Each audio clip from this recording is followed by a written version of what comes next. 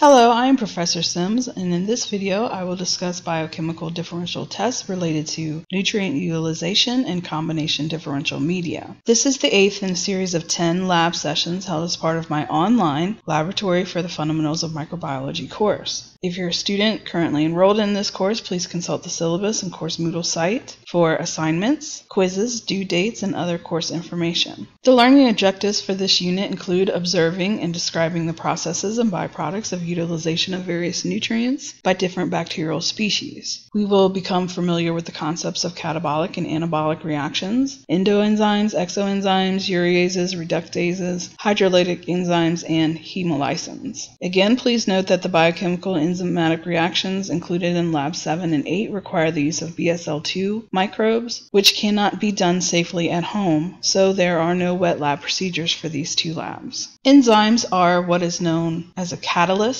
A catalyst helps to speed up chemical reactions and they're not used or changed during a chemical reaction and therefore they're reusable. Proteins called enzymes serve as catalysts for biochemical reactions that play an important role in controlling cellular respiration and metabolism. An enzyme functions by lowering the activation energy, which is the energy needed to form or break chemical bonds. Chemical reactants to which enzymes bind are called substrates, and the location within the enzyme where the substrate binds is called the enzyme's active site. Enzymes are known for their specificity. In fact, as an enzyme binds to its substrates, the enzyme structure changes just like a rubber glove molds to a hand inserted into it. Overall, there is a specifically matched enzyme for each substrate and thus for each chemical reaction. So I bring this up in lab 8 because we have seen enzymatic reactions in labs 6 and 7. But in those two labs, I wanted to focus more on other topics, whereas in this lab, we're looking much more specifically at does this bacteria produce this very specific enzyme? So in lab 7, we were looking at fermentation and cellular respiration more than we were looking at enzyme production. In lab 8, we're looking more at can this bacteria use this sole source of carbon in this media? In other words, does this bacteria make the enzyme that is needed in order to break down this nutrient and use it in their metabolism? So before we can really get too deep into that, we definitely have to make sure we understand enzymes and enzymatic reactions. So let's look at anabolic and catabolic reactions. The term anabolic, and also referred to as anabolism, refers to endergonic metabolic pathways involved in biosynthesis, converting simple molecular blocks into more complex molecules. So, for instance,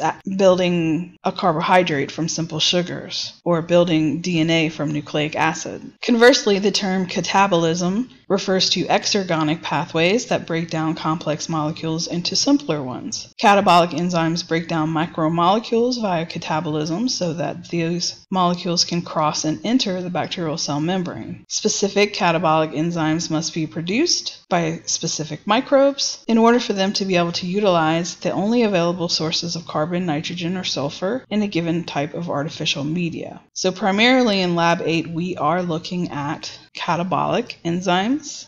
Endoenzymes act inside the cell so, for example, building proteins from amino acids, that's going to be happening inside the cell. Those are endoenzymes, those are anabolic reactions. Whereas exoenzymes, these are enzymes that are working outside of the cell and they're breaking down larger molecules so that they're small enough that the cell can bring them in. So exoenzymes are associated with catabolic reactions. And essentially what is happening is the cell is eating. It's eating the stuff that's outside of it using enzymes that break it down. Let's look at hydrolysis. In the reading and in the lecture course, you're familiar with dehydration synthesis. Dehydration synthesis is the most common type of anabolic reaction, and it's used to link monomers into polymers. Hydrolysis is going to be exactly the opposite of a dehydration synthesis reaction. It is a catabolic reaction which breaks polymers apart and forms monomers using water and enzyme. So that's where the hydro part comes in is water and the lysis means to break. It's breaking polymers into monomers using water. Hydrolytic enzymes hydrolyze carbohydrates, lipids, and proteins outside the cell into their substituents to be transported into the cell. So they are hydrolytic enzymes are exoenzymes and they are performing catabolic reactions. Some bacteria can produce amylase and maltase to break starch down into glucose, which is then used to make ATP via glycolysis. Starch hydrolysis, right? This is the reaction. You start with starch, then you have amylase is the enzyme that breaks starch down into dextrin. Amylase is still present in the cell because enzymatic reactions do not use or break down or change the enzyme. So it's still there and it can be used again to break down dextrin into maltose. And then maltase breaks maltose down into glucose. And then glucose, if you remember, is the starting molecule for glycolysis. Starch is one of the most biologically important polysaccharides, in addition to glycogen and cellulose. It is composed of large polymers made up of hundreds of monosaccharide monomers. So starch is very big. If you're looking at sugars versus carbohydrates versus starches, essentially the main difference is size. Sugars are simple sugars are maybe a monomer or two monomers linked together. Carbohydrates are like a chain of monomers and starches are like a whole web of monomers. But Essentially, a starch is a very big sugar, and these enzymes here can break it down to make it a very small sugar. For experiment 2, you're going to read through this tutorial. For experiment 1, you're going to watch this video in which two species of bacillus bacteria are tested for starch hydrolysis. Bacillus are acidophilic and they are endospore forming bacteria. Therefore, they can tolerate the low pH of the PDA media. And some can also hydrolyze starch, which is abundant in PDA. Potato dextrose agar has a lot of starch in it. Iodine is used to visualize the hydrolyzed clear zones this here in the media because iodine reacts with starch and it changes to a bluish blackish color. So you see this black around here. And also sometimes it's just kind of a dark brown. Iodine reacts with starch in this way. It will turn this dark, dark color. And that is how you can see where the starch is intact still and where it has been hydrolyzed. So this lighter zone of hydrolysis here means that this species is positive for starch hydrolysis. And then the fact that you have the dark color around here means that this species is negative for hydrolysis. And you're saying, well, there's a, zone of hydrolysis on the other side of this bacteria. And it's like, yeah, because this bacteria is hydrolyzing the starch rapidly enough to where it's actually started breaking down all of this in the middle. And if you let this go long enough, if you let this incubate long enough, it probably would hydrolyze all the starch in the plate Okay, next we're going to look at another type of hydrolysis, the gelatin hydrolysis. For experiment two, you're going to read through this tutorial and it's going to take you through the concept of gelatin hydrolysis and how testing for gelatin hydrolysis help differentiate certain genera of bacteria. It is important to know that gelatin is a protein derived from collagen, a component of the vertebrate connective tissue. Gelatinases comprise a family of extracellular enzymes produced and secreted by some microbes in order to hydrolyze gelatin. Subsequently, the gel can take up individual amino acids and use them for metabolic purposes. The presence of gelatinases can be detected using nutrient gelatin, a simple test medium composed of gelatin, peptone, and beef extract. The nutrient gelatin differs from most other solid media in that the solidifying agent is also the substrate for enzymatic activity. Consequently, a tube of nutrient gelatin is stab inoculated with a gelatinase positive organism secreted gelatinase or gelatinases will liquefy the media. If it is negative for gelatinase production, the organisms do not secrete the enzyme and do not liquefy the media. So this is pretty simple. If the bacterium produces gelatinase, the media is going to go from solid to liquid. So this is a positive test here. And if it doesn't produce this enzyme, it stays solid.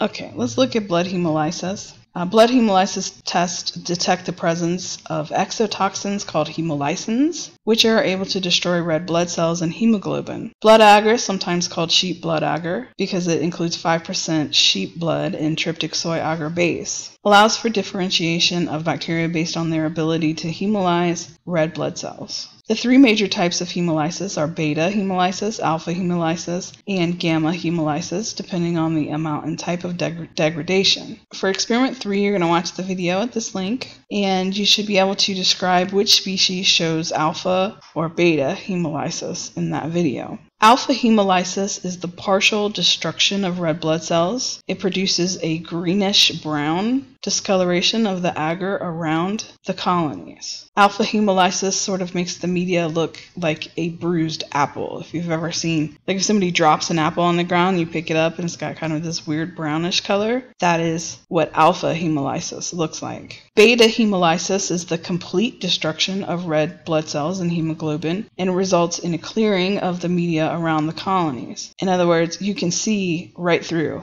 a beta hemolysis plate. And then gamma hemolysis is actually no hemolysis at all, it's negative. So it's going to appear as simple growth with no change to the media at all. Both alpha and beta results are considered positive for hemolysins, whereas gamma is negative. For experiment 4, you're going to be looking at a, yet another type of hydrolysis. This is going to be the test for urea hydrolysis. Urea is a product of carboxylation of certain amino acids. It can be hydrolyzed to ammonia and carbon dioxide by bacteria containing the enzyme urease. The only nutrients in the urea slant agar are going to be urea and a trace of yeast extract. Phenol red, again, is the indicator that's used to expose any increase in pH. So for this one, you're looking to see if the increase, if the pH has increased. And that's because you have urea and water that gets broken down by urease into carbon dioxide, water, and then ammonia. And this ammonia will raise the pH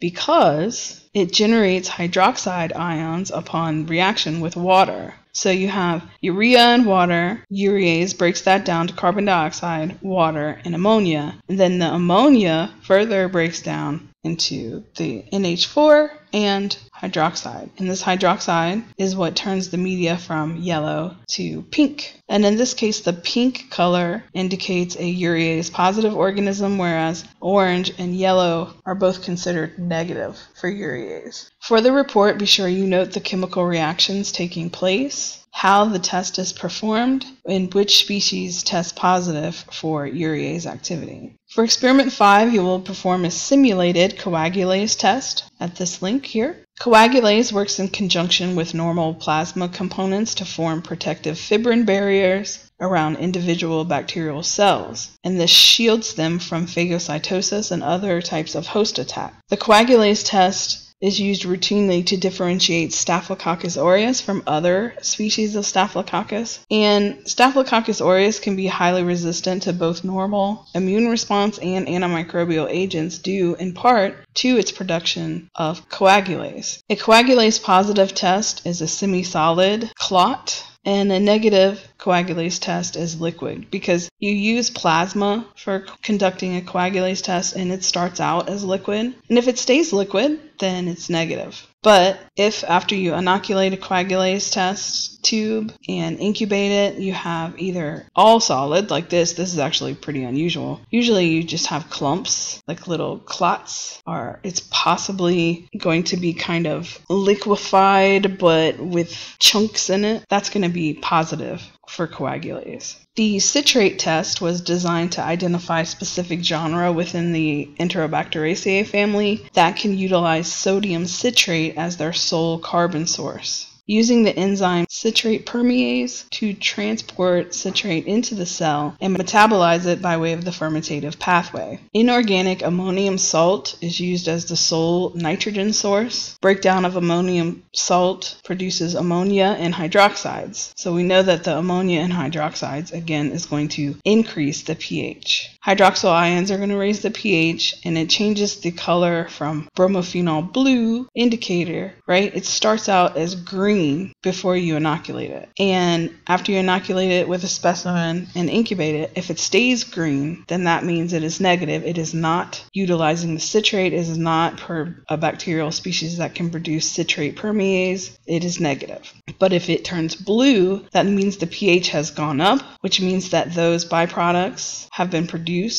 The citrate is being utilized, the ammonium salt has been broken down, and there are ammonia and hydroxides present in the media now, which has made the pH go up. So it's gone from green to blue. That means it's positive.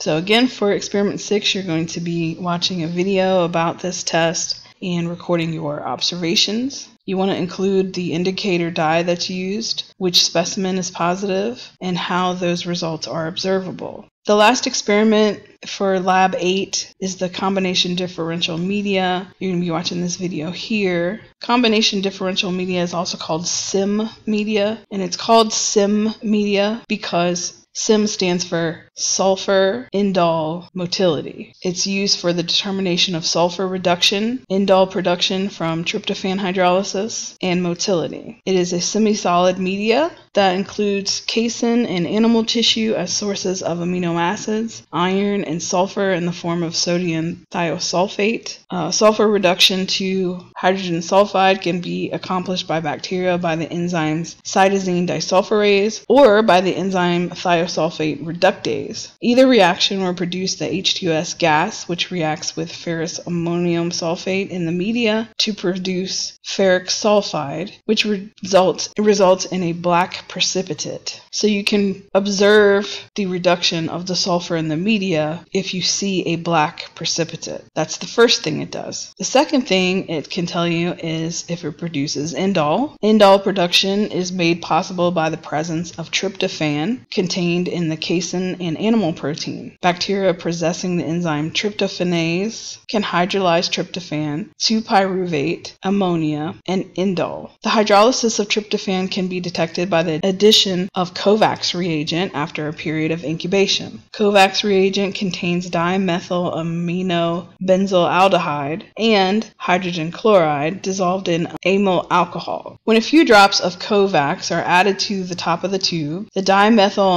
amino reacts with any indole that's present and produces a red reagent layer on the top of the media. And then finally, motility. Um, motility can be determined just because it's a DEEP. So if you perform a stab inoculation and then you incubate it, you should be able to see if the bacteria moved throughout the media or if it did not. But you can do that with any DEEP, honestly. You can test for motility with any DEEP. The tests that are specific to SIM media are going to be your hydrogen sulfide and indole. So in these tubes here, you've got an example of negative for sulfur reduction here, positive for tryptophan hydrolysis. And you can tell because of the color. The color for a positive indole test is going to either be blood red or hot pink. If you have brown like this, that is negative. You also could have clear or milky white or yellow. Any of those is negative for indole. In order for it to be positive, it has to be blood red or a hot pink color. But anyway, so this one is positive for indole, negative for sulfur reduction. This one is negative for both. This one is negative for indole, but positive for sulfur reduction. You can tell because of the black precipitate in the media.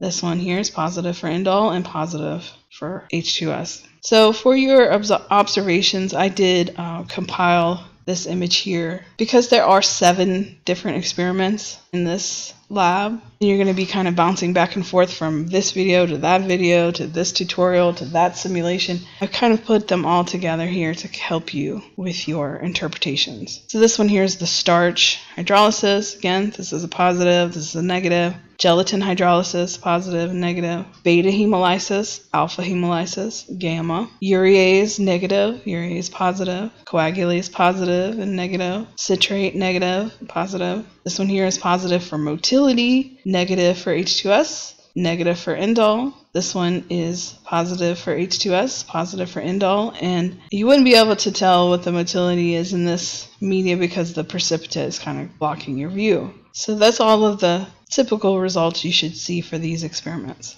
Thank you guys for watching. Don't forget to do the reading. Check the description for more videos related to these topics and leave your questions for me in the comments below.